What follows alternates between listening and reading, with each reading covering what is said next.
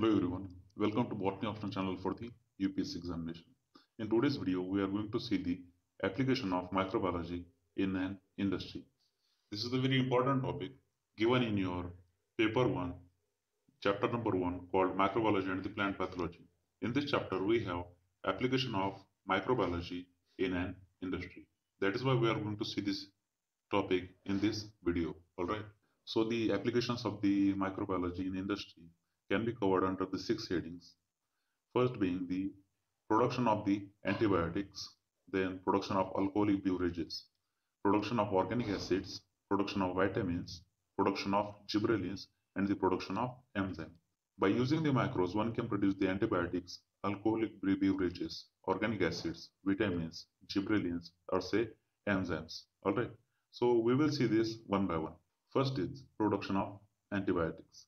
As you know, antibiotics are the chemical substances which are produced by some microbes and that can kill or stop the growth of other organisms. We use often use the antibiotics when we are ill, right? The antibiotics are uh, these chemical substances which are produced by the microbes and they can kill or stop the growth of the other microbes. That is why we call them as an antibiotic. The very first antibiotic was discovered by the Alexander Fleming and that first antibiotic was the penicillin which is obtained from the penicillium notatum. Today we use these antibiotics against the deadly diseases such as the plague, whooping cough, leprosy and the malaria. So there is a wide range of applications of these antibiotics which are produced by the microbes. Here are certain examples of antibiotics are which are produced by the microorganisms and the name of microorganism has been given. First is the chloromycetin which is produced by the Streptomyces venezuelae. Second is the erythromycin which is produced by the Streptomyces erythraeus. Then there is a penicillin which is produced by the Penicillium chrysogenea. And then there is a streptomycin which is produced by the Streptomyces griseus. Out of these four, the Penicillium chrysogenea is a fungi while Streptomyces erythraeus is a bacteria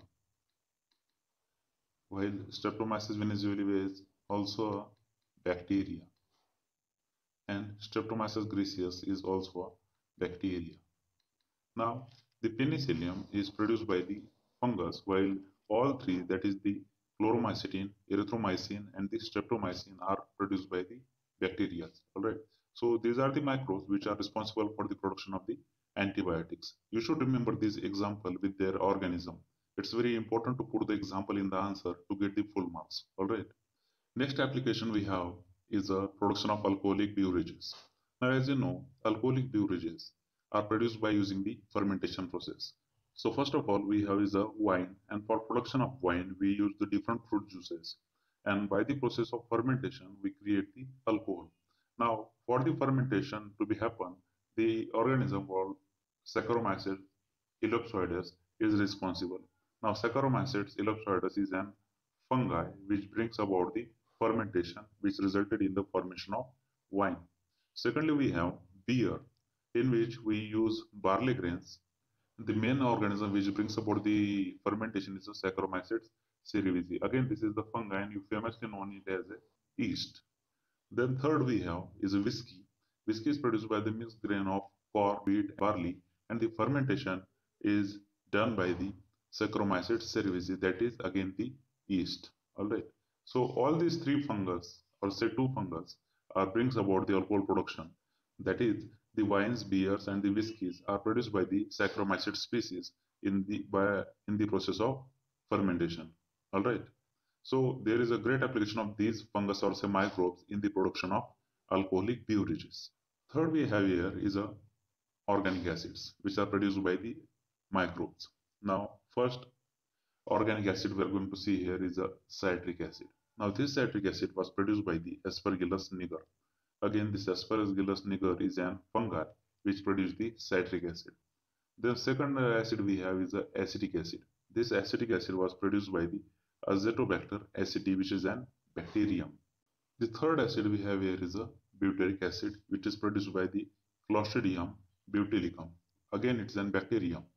The next acid we have here is a lactic acid which is produced by the lactobacillus and again it is a bacterium. So we have seen the four acids that is the citric acid, second is acetic acid, third is butyric acid, and fourth is lactic acid. The citric acid produced by the Aspergillus niger. Acetic acid produced by the Acetobacter aceti, while the butyric acid is produced by the Clostridium butylicum, and the lactic acid is produced by the Lactobacillus. You should remember carefully the organism and the acid produced by that organism. Plus, we have to remember that the that microbe belongs to which group of microbes. That is, the Aspergillus niger belongs to the fungi, while Acetobacter aceti is a bacterium, while Clostridium is also a bacterium, and the Lactobacillus is also a bacterium. Next, we have is the production of vitamins by the microorganism. Now, as you know, vitamins are very important for the human body, for the human survival. All right. In general, we have vitamin like A, B, C, D, E, and K. Out of these, B and C are the water-soluble vitamins, and rest are the fat-soluble vitamins. So the vitamins which are produced by the microbes are vitamin B2, which is produced by the Neurospora gossypii, while vitamin B12 is produced by the Pseudomonas denitrificans. Vitamin C is produced by the Aspergillus niger. Now, as you know, Aspergillus niger is a fungi, while Pseudomonas is an bacteria, and Neurospora gossypii is again a fungi. So, the Neurospora produce the vitamin B2, while vitamin B12 produced by the Pseudomonas, and vitamin C is produced by the Aspergillus niger. Aspergillus niger and Neurospora gossypii are both are fungi, while the Pseudomonas is a bacteria. Alright. So this is the production of vitamins by the microbes. You should remember the name of the microbes, the class they belong, and the vitamins they produce to put forward in an answer. Alright. So the next application of the microbes in the industry is the production of enzymes. Alright. So there are certain microorganisms which are responsible for the production of certain enzymes. Enzymes can either accelerate the reaction or can initiate the reaction. Alright. So we have here an enzyme and the organism which produces that enzyme. Invertase is produced by the Saccharomyces cerevisiae. Again, it's a fungi commonly called as yeast. Then we have pectinase. It is produced by the Sclerotiana libertine.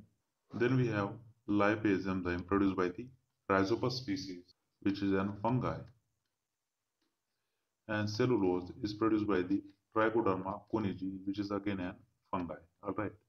So the invertase is produced by the Saccharomyces cerevisiae, while pectinase is by the Sclerotiana libertine. Then lipase produced by the Rhizopus species, and the cellulase is produced by the Trichoderma koningii. So the, the, all these microorganisms has a great application in the industrial production of enzyme. The next application of microbes in industrial production is the production of the gibberellin. As you know, gibberellin is the group of growth hormones in plants. And the primary function of this gibberellin is an stem elongation. That means this gibberellin, which is an uh, growth hormone, is responsible for the stem elongation in plants. Now, this gibberellin is produced by the Gibberella fujikuroi. This Gibberella fujikuroi is a microbe which belongs to the fungi, which helps plants in a stem elongation. And there are many applications of the gibberellin hormone in a plant kingdom. All right.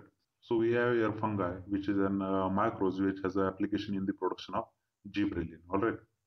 So in and all, so in summary, we have seen the application of microbes in the production of antibiotics, and we have seen the four antibiotics that is chloromycetin, erythromycin, penicillin, and the streptomycin produced by the microbes. All right. Then we have seen the application of the microbes in the production of alcoholic beverages. In that we have seen the wine, beer, and whiskey example, which are produced by Saccharomyces species. Then we have seen the application of microbiology in the production of organic acid, and we have seen the four organic acid, namely citric acid, acetic acid, butyric acid, and the lactic acid, and the organisms producing them. All right. Then we have seen the production of vitamins by the microbiology, in which we have seen the production of vitamin B2, vitamin B12, and vitamin C by the different fungi and the bacteria. Then we have seen the production of enzyme. We have seen the four enzymes, namely invertase, pectinase, lipase, and the cellulase, produced by the fungi. And lastly, we have seen that the gibberellin, which is a growth hormone in a plant kingdom, is produced by the fungi, namely Gibberella fujikuroi. All right. So I hope you like this lecture. Please make sure to like the video. And if you are yet to subscribe this channel, please subscribe to the botany optional for the UPSC examination channel. And please press that bell icon. Without pressing the bell icon, you will not get you notified whenever there is upload of the video. Alright. So see you in the next video. Thank you very much for watching.